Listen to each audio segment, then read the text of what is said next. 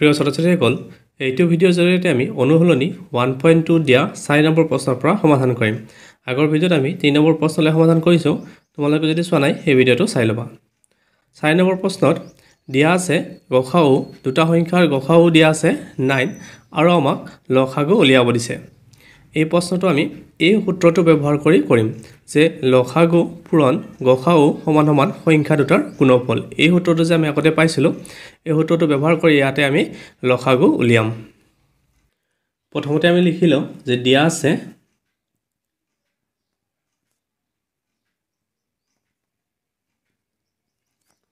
গসাও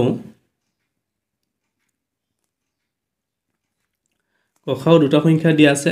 এটা হ'ল three zero six আৰু এটা হ'ল ছিক্স ফাইভ ছেভেন এই দুটা সংখ্যাৰ গসাও দিয়া আছে নাইন আৰু আমাক লসাগু উলিয়াব দিছে।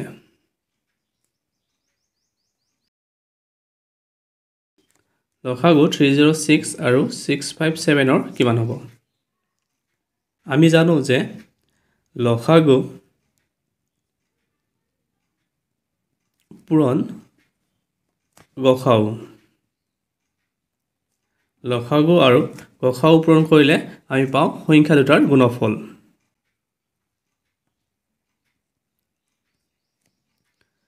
এতিয়া আমি ইয়াতে লসাগুৰ ঠাইত আমি লসাগুৱে ৰাখিম যিহেতু প্ৰশ্ন আমাক লসাগু উলিয়াব দিছে। কিন্তু গসাউৰ সলনি আমি নাইন লিখিব পাৰোঁ যিহেতু গসাগু ইয়াতে নাইন বুলি কৈছে। আৰু সংখ্যা দুটাৰ গুণফল আমি ইয়াতে লিখিম। এটা সংখ্যা হ'ল থ্ৰী জিৰ' ছিক্স আৰু আনটো হ'ল ছিক্স ফাইভ ছেভেন এতিয়া নটো ইয়াতে পূৰণ হৈ আছে ইফালে নিলে এইটো হৰণ হ'ব। ইয়াতে থাকিলে লসাগু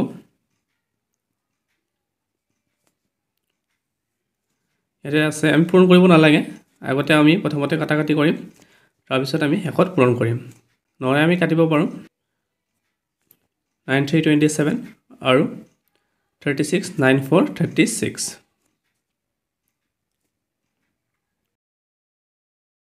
six five seven আৰু থাৰ্টি ফ'ৰ আমি ইয়াতে পূৰণ কৰিম।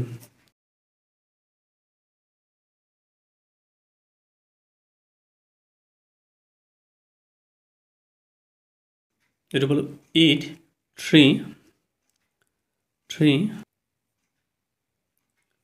two two three three eight লসাগু হ'ব two two three three eight এইটোৱে হ'ল উত্তৰ। পাঁচ নম্বৰ প্ৰশ্ন দিছে পৰীক্ষা কৰা কোনোবা স্বাভাৱিক সংখ্যা এনৰ ক্ষেত্ৰত ছিক্স এন সংখ্যাটো শূন্য অংকৰে শেষ হ'ব পাৰেনে নাই? আমাক এই প্ৰশ্নটোত পৰীক্ষা কৰিব দিছে যে six to the power n এই সংখ্যাটো শূন্য অংকেৰে শেষ হ'ব পাৰেনে নাই? শূন্য অংকৰে শেষ হোৱা সংখ্যা যেনে টেন। আমি এই সংখ্যাটো ক'ব পাৰোঁ যে এই সংখ্যাটো শূন্য অংকত শেষ হৈছে। তোমালোকে মন কৰিবা যিবোৰ সংখ্যাই শূন্য অংকত শেষ হয় সেই সংখ্যাৰ উৎপাদক দুই আৰু পাঁচ থাকিবই। যেনে এইটো টেন টেনৰ উৎপাদক যদি আমি ওলাই চাওঁ মৌলিক উৎপাদক আমি কি পাম? টু আৰু five two into five ten ইয়াৰে মৌলিক উৎপাদকত আমি কি দেখিছোঁ? দুই আৰু পাঁচ। একেধৰণতে যদি আমি এটা বেলেগ সংখ্যা লওঁ ধৰি লোৱা থাৰ্টি থাৰ্টিও এটা শূন্য অংকৰে শেষ হোৱা সংখ্যা। এই থাৰ্টিটোৰ যদি আমি উৎপাদক উলিয়াই লওঁ মৌলিক উৎপাদকত আমি কি পাম? Three into two six six into five thirty ইয়াৰে উৎপাদকত আমি কি দেখিছোঁ? টু আৰু ফাইভ তোমালোকে মন কৰিবা যিবোৰ সংখ্যাই শূন্য অংশত শেষ হয় সেই সংখ্যাবোৰৰ উৎপাদকত আমি টু আৰু ফাইভ পামেই। তোমালোকে যিকোনো সংখ্যা লোৱা ধৰি লোৱা ফিফটি ফিফটিৰ শেষত শূন্য আছে। ফিফটি যদি আমি উৎপাদক লওঁ আমি কি দেখিম? Five into two ten ten into five fifty চোৱা ইয়াতেও আমি কি দেখিছোঁ? মৌলিক উৎপাদক টু আৰু ফাইভ যিকোনো সংখ্যাই যদি শূন্যত শেষ হয় সেই সংখ্যাৰ উৎপাদকত আমি টু আৰু ফাইভ পামেই আৰু যদি আমি মৌলিক উৎপাদক টু আৰু ফাইভ নাপাওঁ তেতিয়া সেই সংখ্যাটো কেতিয়াও শূন্য অংকত শেষ নহয়। এতিয়া আমি এই প্ৰশ্নটো কৰোঁ। ছিক্স এন ছিক্সৰ যদি আমি উৎপাদক লওঁ আমি কি দেখিম? টু ইণ্টু থ্ৰী ছিক্স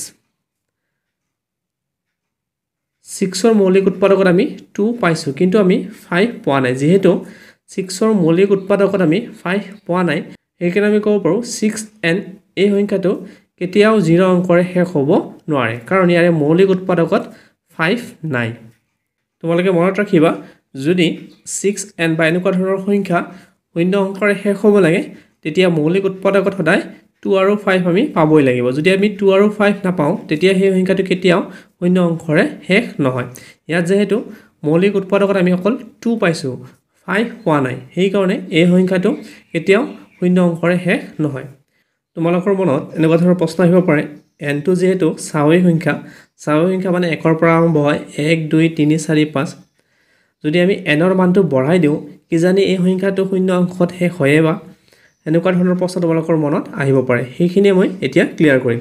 চোৱা যদি এনৰ মানটো আমি বঢ়াই দিওঁ ধৰি লোৱা এনৰ মানটো টু কৰি দিলোঁ। টু কৰিলে এইটো ছিক্স স্কুৱেৰ হৈ গ'ল। ছিক্স স্কুৱেৰ হ'লে এতিয়া আমি কিমান পাম? থাৰ্টি ছিক্স এতিয়া চোৱা ছিক্সৰ উৎপাদকত আমি কি পাইছিলোঁ? টু আৰু থ্ৰী এতিয়া যদি চোৱা থাৰ্টি ছিক্সৰ উৎপাদকতো মৌলিক উৎপাদকত আমি টু আৰু থ্ৰীয়ে পাম। থাৰ্টি ছিক্স মানে কিমান? ছিক্স ইণ্টু ছিক্স ছিক্স উৎপাদকত টু ইণ্টু থ্ৰী ছিক্স আকৌ two into three six six into six thirty ছিক্সৰ থাৰ্টি ছিক্সৰ উৎপাদকতো আমি টু আৰু থ্ৰীয়ে পাইছোঁ। আমি ইয়াৰে এনৰ মান যিমানে বঢ়াই দিলেও আমি কি পাম? মৌলিক উৎপাদকত অকল টু আৰু থ্ৰীয়ে পাম। হয়তো টু বেছিকৈ পাম থ্ৰী বেছিকৈ পাম কিন্তু বেলেগ সংখ্যা বা পাঁচ আমি কেতিয়াও নাপাওঁ। তোমালোকে মনত ৰাখিবা যে এনৰ মানটো তোমালোকে যিকোনো সংখ্যাই ল'ব পাৰা যিকোনো সংখ্যা ল'লেও তোমালোকে মৌলিক উৎপাদকত অকল টু আৰু থ্ৰীয়ে পাবা। যদি এনৰ মান ইয়াতে টেন লোৱা six to the power ten ছিক্সক আমি টেন টাইমছ পূৰণ কৰোঁ। পূৰণ কৰি যিটো সংখ্যা পাওঁ সেই সংখ্যাটোৰ যদি আমি উৎপাদক উলিয়াই চাওঁ অকল টু আৰু থ্ৰীয়ে পাম। ইয়াত কেতিয়াও ফাইভ নাই। সেইকাৰণে ছিক্সৰ উৎপাদকটো উলিয়ালেই হ'ব বাকীখিনি আৰু কৰিব নালাগে। ইয়াতে আমি এতিয়া লিখিম যিহেতু ছিক্সৰ মৌলিক উৎপাদকত অকল টু আছে ফাইভ নাই সেইকাৰণে এই সংখ্যাটো কেতিয়াও জিৰ' অংশত শেষ নহয়। যিহেতু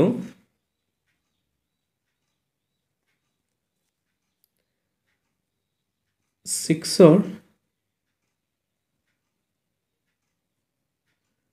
মৌলিক উৎপাদকত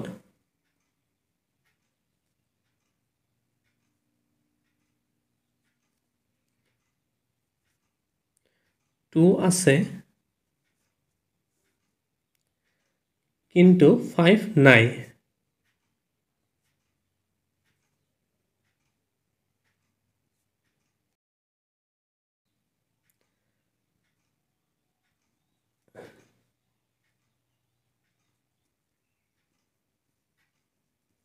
এতেকে যিকোনো স্বাভাৱিক সংখ্যা এনৰ বাবে ছিক্স এন সংখ্যাটো জিৰ' অংকৰে শেষ নহয়। এইটোৱে উত্তৰ। এতিয়া ছয় নম্বৰ প্ৰশ্ন। ইয়াতে দিছে seven into eleven into thirteen plus thirteen আৰু seven into six into five into four into three into two one plus five সংখ্যা দুটা কিয় যৌগিক সংখ্যা ব্যাখ্যা কৰা? আমাক কৈছে যে এই দুটা যে সংখ্যা দিয়া আছে এই দুটা সংখ্যা হ'ল যৌগিক সংখ্যা। এই দুটা কিয় যৌগিক সংখ্যা আমি ব্যাখ্যা কৰিব লাগে বা আমি এক্সপ্লেইন কৰিব লাগে যে এই দুটা কিয় যৌগিক সংখ্যা? যৌগিক সংখ্যা মানে হ'ল যিবোৰ সংখ্যা মৌলিক সংখ্যা নহয়। যেনে চাৰি এটা যৌগিক সংখ্যা ছয় আঠ দহ বাৰ চৈধ্য মানে তোমালোকে মন কৰিবা যিবোৰ সংখ্যা মৌলিক সংখ্যা নহয় সেইবোৰে যৌগিক সংখ্যা। এতিয়া আমি দেখুৱাব লাগে যে এই দুটা কিয় যৌগিক সংখ্যা। চ' এটা যৌগিক সংখ্যা লৈ লৈছোঁ যেনে টেন। এতিয়া যৌগিক সংখ্যাৰ উৎপাদক। টেনৰ যদি আমি উৎপাদক উলিয়াওঁ আমি কি পাম? মৌলিক উৎপাদকত পাম টু ইণ্টু ফাইভ যিকোনো তোমালোকে যৌগিক সংখ্যা ল'লে তাৰে উৎপাদকত কি পাবা?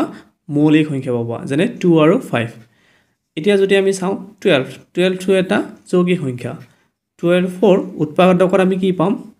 Two into two four four into three twelve so' ইয়াতে আমি কি পাইছোঁ? মৌলিক সংখ্যা পাইছোঁ। মানে আমি কি ক'ব পাৰোঁ?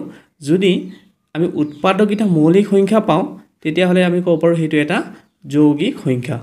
যিকোনো যৌগিক সংখ্যা ল'লে আমি উৎপাদক যদি উলিয়াওঁ উৎপাদকত সদায় আমি কি পাম? মৌলিক সংখ্যা পাম। ওলোটাকৈ আমি ক'ব পাৰোঁ যদি উৎপাদককেইটা মৌলিক সংখ্যা হয় তেতিয়া সেইটো কি হয়? যৌগিক সংখ্যা হয়। এইখিনি আমি ইয়াতে কৰিম। এই সংখ্যাটো যে দিছে এই সংখ্যাটোৰ আমি উৎপাদক উলিয়াই চাম। যদি উৎপাদকত আমি মৌলিক সংখ্যা পাওঁ তেতিয়া আমি ক'ব পাৰিম যে এইটো এটা যৌগিক সংখ্যা। একেধৰণতে এইটোৰো আমি উৎপাদক উলিয়াম। উৎপাদক উলিয়াই আমি চাম যদি উৎপাদককেইটা মৌলিক সংখ্যা পাওঁ তেতিয়াহ'লে এইটো এটা যৌগিক সংখ্যা হ'ব। তোমালোকে যিকোনো যৌগিক সংখ্যা লোৱা যৌগিক সংখ্যা যদি তোমালোকে উৎপাদক উলিওৱা উৎপাদকত তোমালোকে শেষৰ উৎপাদকত কি পাবা? মৌলিক সংখ্যাই পাবা। যদি মৌলিক সংখ্যা পোৱা তাৰমানে সেইটো এটা যৌগিক সংখ্যা। প্ৰথমটো দিছে seven into eleven into thirteen plus thirteen ইয়াতে আমি থাৰ্টিনটো কমন ল'ব পাৰোঁ।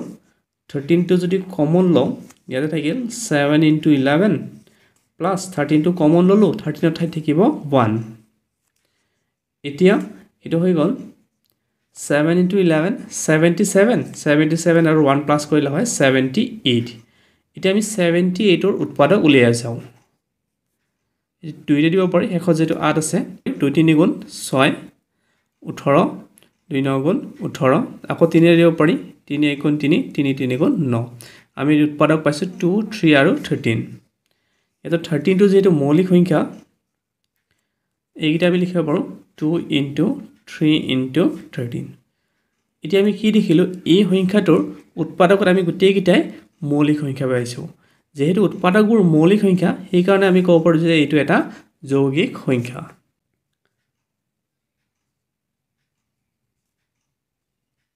যিহেতু seven into eleven into thirteen plus thirteen সংখ্যাটোক মৌলিক সংখ্যাৰ উৎপাদক হিচাপে প্ৰকাশ কৰিব পৰা যায় গতিকে আমি ক'ব পাৰোঁ যে এই সংখ্যাটো এটা যৌগিক সংখ্যা।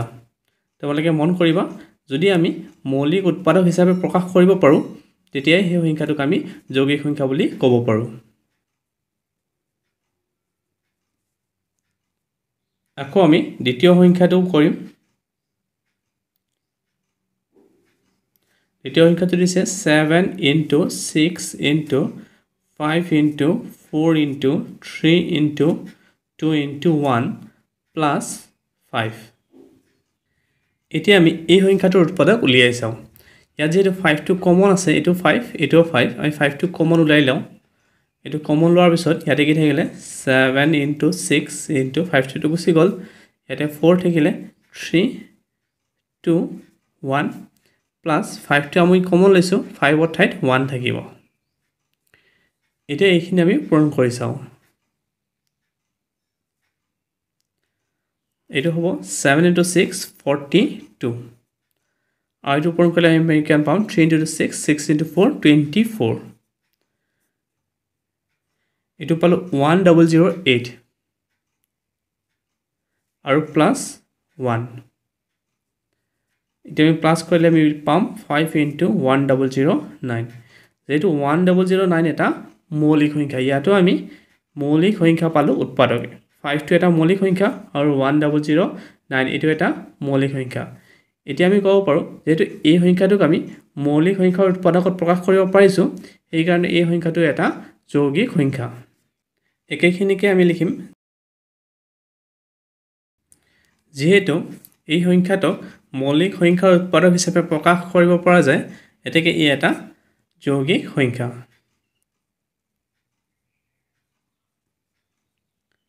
এইটোৱে হ'ল উত্তৰ।